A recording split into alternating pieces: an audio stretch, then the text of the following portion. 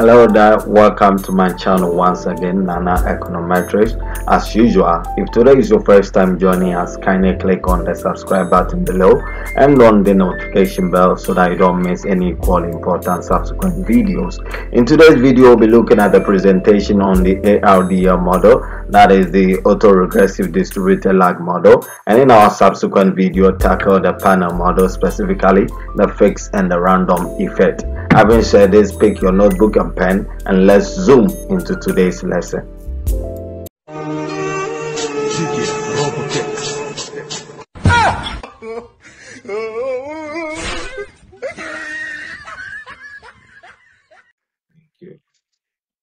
Okay, so this is the outline of the presentation. Um, the first session I'll talk about the autoregressive uh, distributed lag model in short, mm-hmm. the ARDL model. And the last session or the second session probably talk about the heterogeneous panel regression model, specifically the fixed effect and the random effect. So this is the pattern of which the presentation is going to take place. Brief background, uh, talk about the what, that is what actually the ARDL and the panel model entails, and move on to talk about when to estimate the ARDL model, maybe as a researcher, when you're thinking of a model to carry out, when do I actually carry out an ARDL model? And the last one, we'll look at how to go about it. That is how to specify an ARDL regression model or maybe the panel regression model. Okay, so let's quickly move on. I want to start by saying that um, economists and researchers like my colleagues and myself usually face method selection problem while working with time series data. Why? Because time series data possesses certain specific or inherent characteristics such as trend and structural break, which makes analysis of them quite cumbersome, uh, unlike other form of data like the cross-sectional data and the likes. Okay, so common method that are used to analyze other types of data may not be suitable to analyze time series data owing to its inherent properties that they tend to have, such as the trend and the structural breaks. Yeah. So in view of that, we say applying a suitable methodology for time series data is the most crucial part of every time series data analysis. Why? Because misspecification might lead to prejudice or, or, or bias estimate, which might not be unrealistic, okay? Which might not be unrealistic. And as a result, it will lead to a, a, a mixed judgment or wrong interpretation.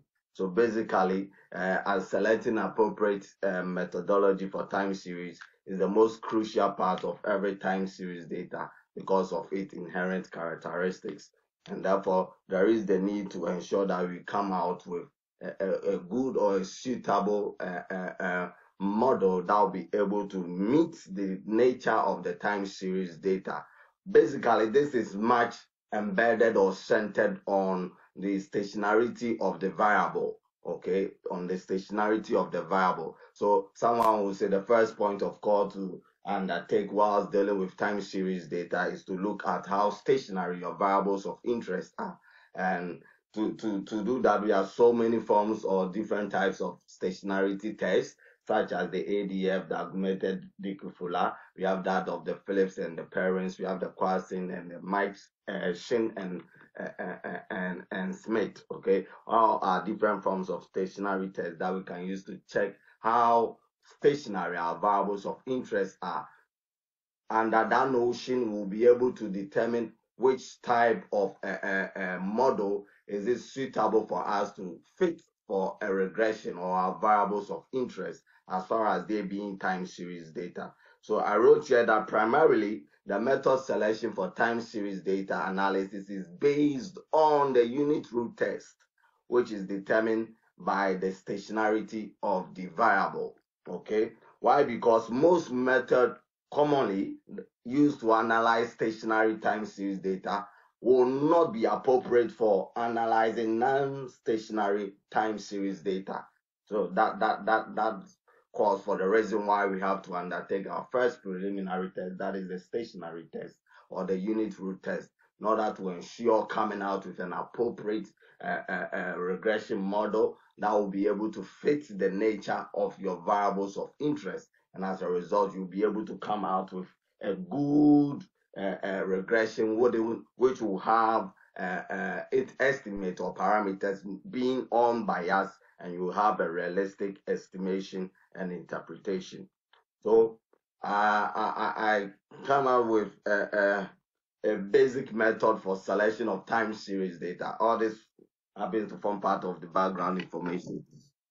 Okay, this one might not be comprehensive enough, but it gives us the first point of call or a tip of for us to have in mind or bear in mind when dealing with time series data. As we already made mention of that, time series data uh, is one of the data that is quite hectic because of its inherent characteristics such as the breakpoint or the structural breaks and the likes. And therefore, uh, from the diagram over here, I believe it's uh, uh, uh, visible for all of us to see. So I've written basic method selection for time series data. So as I indicated, the unit root is the basic form or the most uh, preliminary test that need to be undertaken before you carry out any uh, uh, um, uh, time series data analysis. Now we are saying based on your unit root test, if you tend to have all your variables stationary, then it will be much easier or simple for you to use the OLS, that is the ordinary least square, or the VAR, VAR model.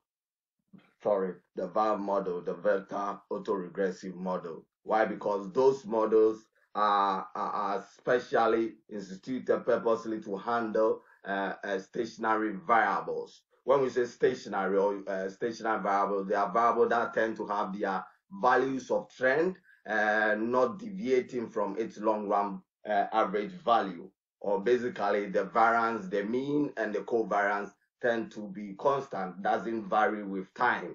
Okay, that is the unit root. Okay, so when we say your variable are stationary, then you could go in for OLS or the VAR model. Basically, most accounting data are usually found to be much stationary. So in most cases, you see people using much of the OLS in uh, estimating their data, unlike uh, economic data, which are, are usually dynamic in nature.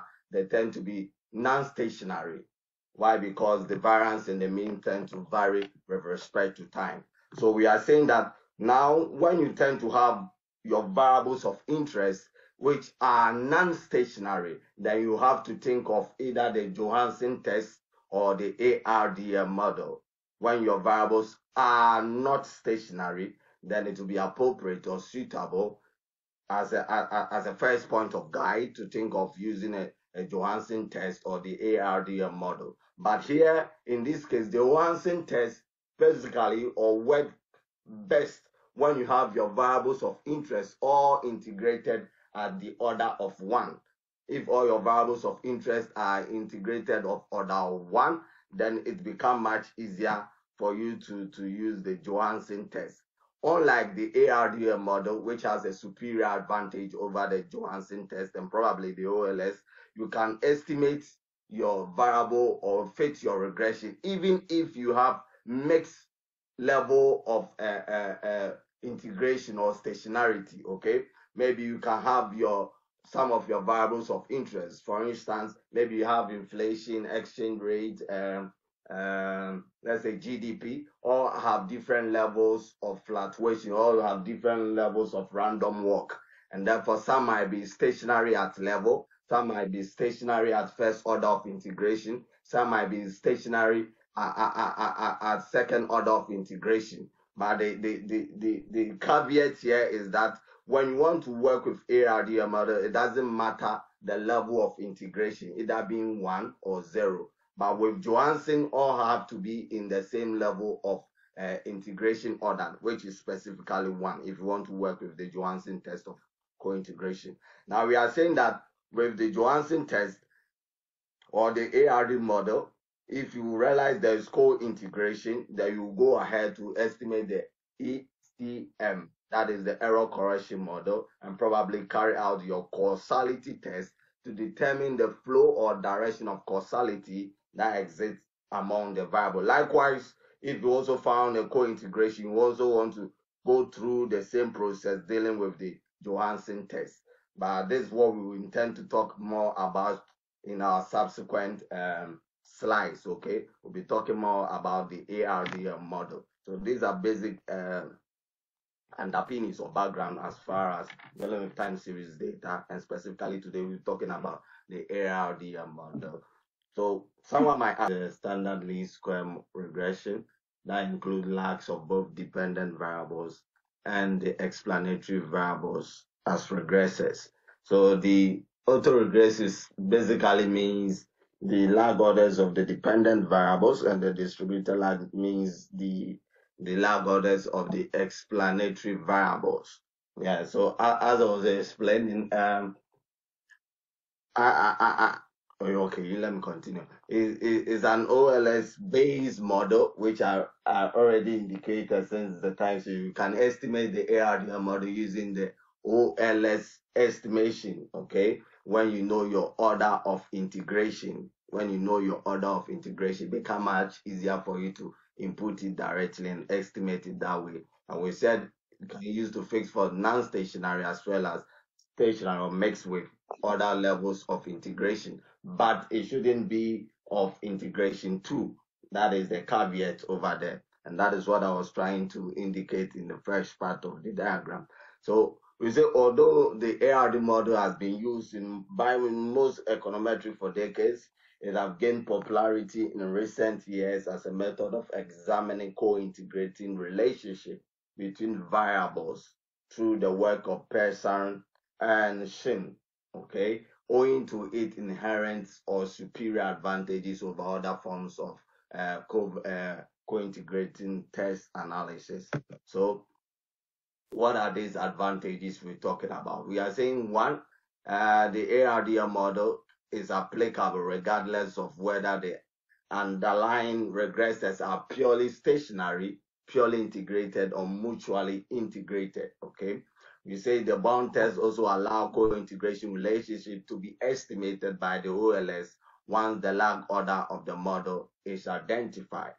We are saying that the ARDM model has a superior advantage in the sense that it's able to overcome endogenous problem, which is uh, currently one of the common problems associated with most regression analysis. And it has the ability to overcome or to estimate long run coefficient, which was found to be a problem in the Engle-Granger model of estimation. It can also be used to estimate the short run and the long run parameters or the coefficient simultaneously.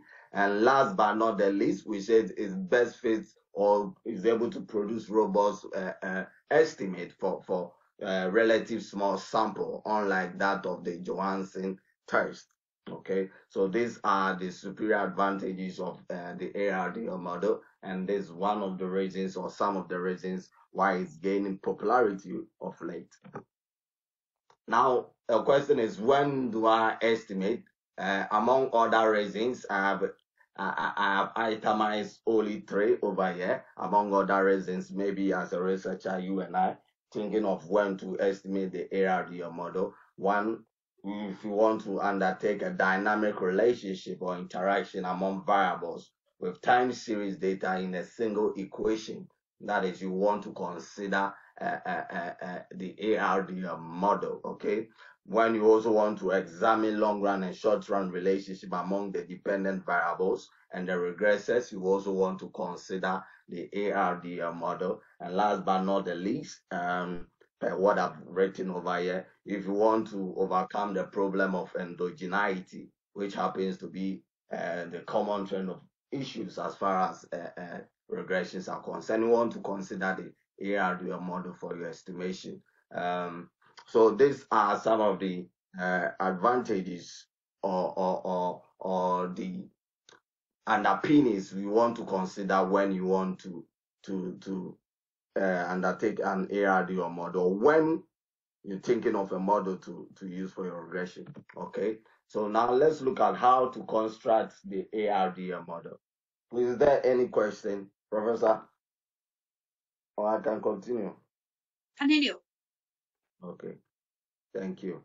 So we are saying how to construct an ARDM model.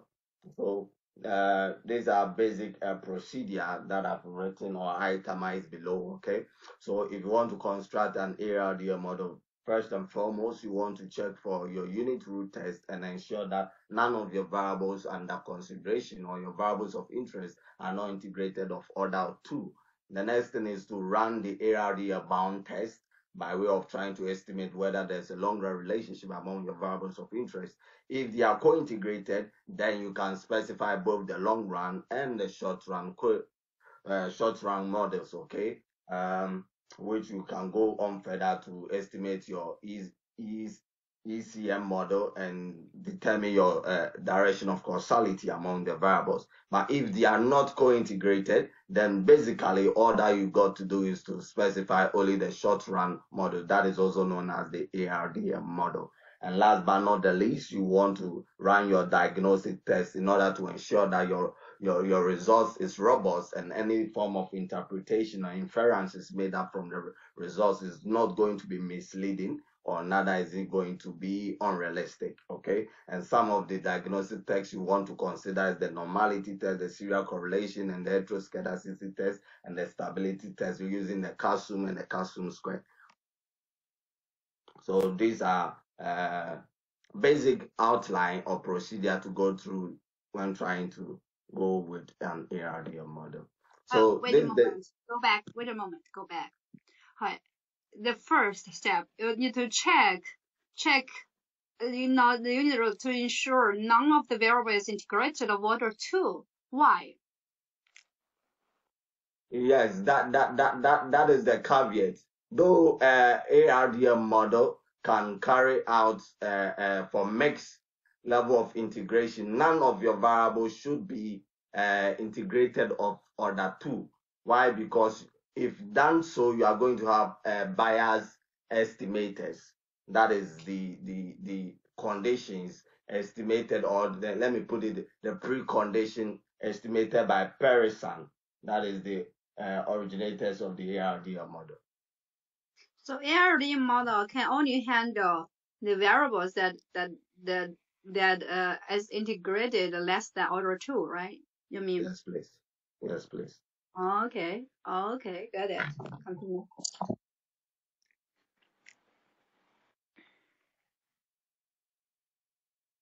Brother, can I continue? Continue, continue. Okay, thank you. So um, this is the generalized ARDM model, and the YT happens to be the dependent variable, usually also known as the vector of the variable. Vector in the sense that when dealing with an ARDM model, uh, you want to consider all or all or maybe all your variables of interest can also at one point in time can be used as a dependent variable. That is why in the simplest term, saying the variable of what? The vector of the variable. Okay. So uh, yt is the dependent variable and x is the uh, explanatory variables. Okay. And we say that the YT is a function of eight uh, uh, lag values and the current and the lag values of the exogenous variables in the models. We have the ET to be the error term, and we have the P and the Q to be the optimal lag order for the dependent variable that is P and the independent variable that is Q. So basically, this is how the uh, ARDM model generalize uh, a, generalization, okay, or, or, this how it is being specified in the simplest form. This is how it is specified in the simplest form, okay. So let's look at an expanded ARDM model. Uh, this is one of uh, this is just a, an excerpt of one of my papers. I I use the ARDM model for for estimation, okay, and this uh, constitute of three variables this consists of three variables. So, okay, uh, the ARDM model. So, as I said early on, uh, the first thing is to take your unit root test, and the next thing to look at your bound test, your co-integration. The hypothesis for the co-integration says that the uh, uh, parameters of the various variable is equal to zero. The alternate hypothesis saying the parameters or, or, or, the parameters of the various uh, variables are not equal to zero. Hypothesis zero or the null hypothesis is saying that there is uh, co-integration. The alternate hypothesis saying that there's no co-integration. So that that is it. So per per per this you estimate it uh, using the F uh, F uh, statistics to check your dimension to see whether there's co-integration or not. And Pesaran, the, the originators of the ARDM model, came out with uh, uh, what we call critical values. We have the upper critical values and the lower critical values. So when you estimate uh, uh, your F stats and your, your F stat is bigger or huge than your uh, upper bound, then you could say that truly there is a co-integration among your variables. But if it falls below, if it is above the uh, upper critical bound, then there's co-integration. If it's below the lower critical bound, there's no co-integration. So in this case, per what I said, um, I have three variables of interest. It could be four, it could be five, depending on your research objective. Mine, in this case, one of the papers, uh, one of my papers, I used three, three, three uh, variables. I was interested in the dynamic interaction between GDP, FDI, and the real interest rate. Okay, so uh, this is how to come out with the expanded model. As I said, the uh, all the variables of interest could be used at one point in time as dependent variables. So that is how it was estimated. So uh, the dependent variable have the uh, difference operator that is the, the, triangle we see behind it. The first part captures the long run estimate and the second part captures the short run estimate and we have the error term. So that, that, that is how to estimate or expand your your generalized ARDL model to capture all the various variables of interest you are using. So um, as indicated, out of your B test bound or the bound test outcome, if there is no co-integration, you just specify the ARDL short run. So the ARDL short run, this, this is how it is being specified if there is no co-integration. But if there is co-integration, this is how you specify it. With that is you specify the ECM. Okay. For the purposes of brevity, I couldn't write all the models for all the three uh, uh, dependent lines, okay, where uh, GDP becomes uh, dependent, uh, FDI becomes dependent because of brevity. But this is how you know the same procedure is carried throughout. For instance, if all your three variables of interest are co-integrated, then you have to estimate what we call the VECM, that is the vector uh, error correction model. So basically, this gives a, a, a, a, snapshot of what has to be done and how it has to be specified. But I didn't write all of them here, okay? So when there is no co-integration, this is how it is specified. You only specify the ARDM, which is basically the short run model, and this is how to estimate it. But when there is co-integration, you estimate the ECM or the VECM, that is the vector error correction model. When there is co-integration among all your variables of interest. Now we have the uh, ECT, that is error correction term with a lambda beside it that captures the parameter of it, okay? Uh, which is always expected to be the negative, okay? Confirming the long run relationship that has already been estimated from the long run coefficient. The ECM are the residuals from the long run estimation that has jointly added to that of the short run estimate, okay? So the ECM captures the long run and the short run estimate.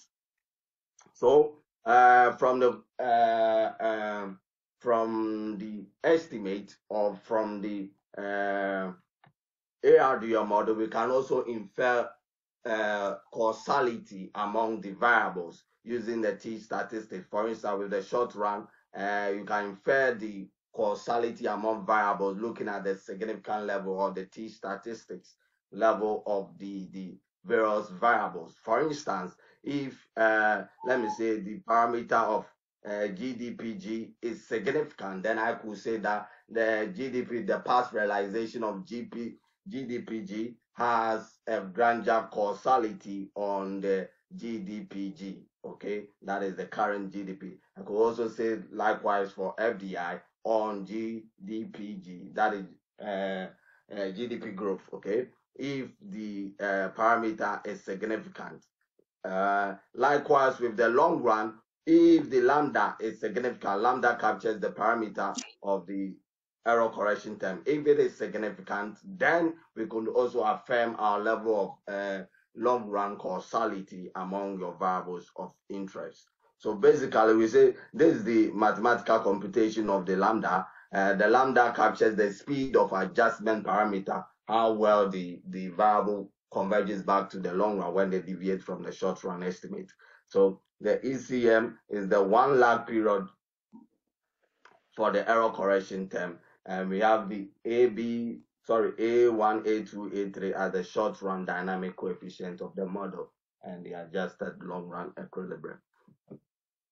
So summary, what we are saying is that the outcome of the bound test indicate whether to specify the ARDL, the ECM, or the VECM model. Okay.